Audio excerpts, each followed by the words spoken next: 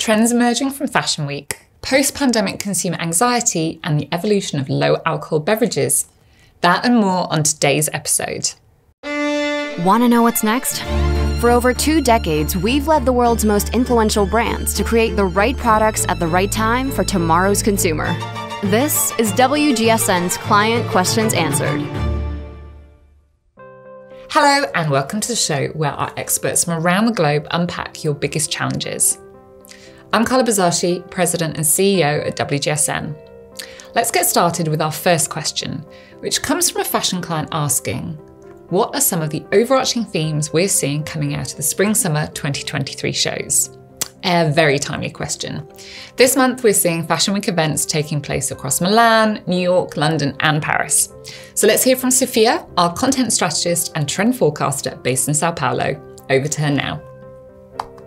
With Paris Fashion Week just about to end, we're already able to identify some of the key trends coming from the catwalks for Spring Summer 23. First, we see the ongoing casualization of tailoring and office ready clothing, with brands catering to consumers' increasingly life, flexible lifestyles. Second, although there are brands still offering over the top, party led styles, Many seem to understand the harsh reality of the rising cost of living, bringing longevity to the fore through seasonless pieces and year round colors.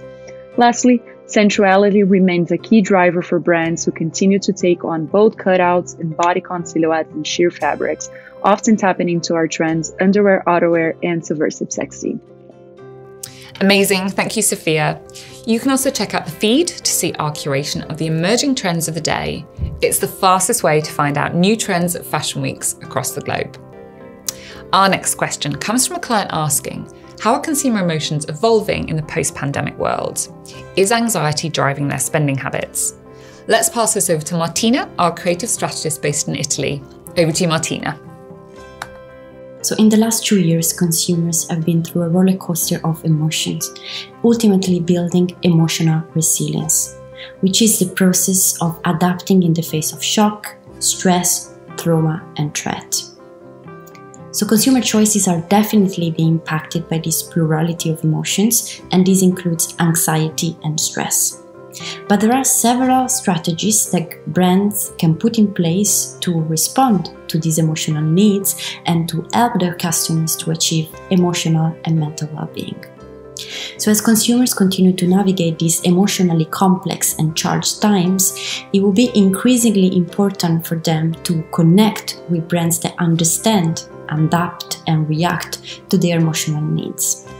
So use this as an opportunity and be emotionally intelligent. Tune in with the emotional needs of your audience, adapting messages, products, services to their emotional needs, feelings, and moods. Open up a closer conversation with your audience using social media as an intimate conversational platform.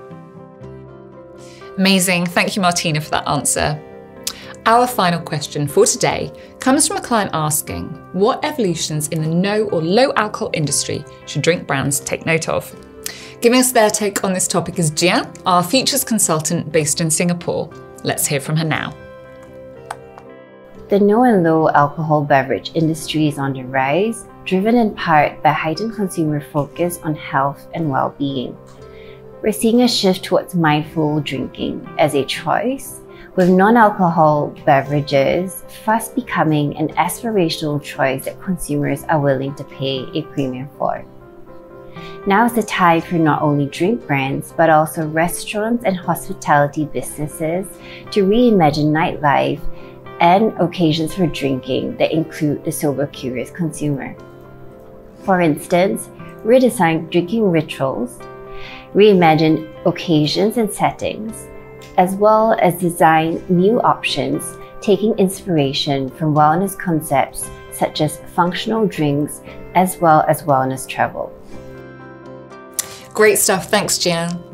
Head over to our food and drink site to see our key trend report on alcohol free drinks, from upgraded mocktails to adaptogenic sips.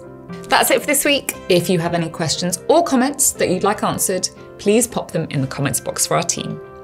I'm Carla Buzasi, and I'll see you next time.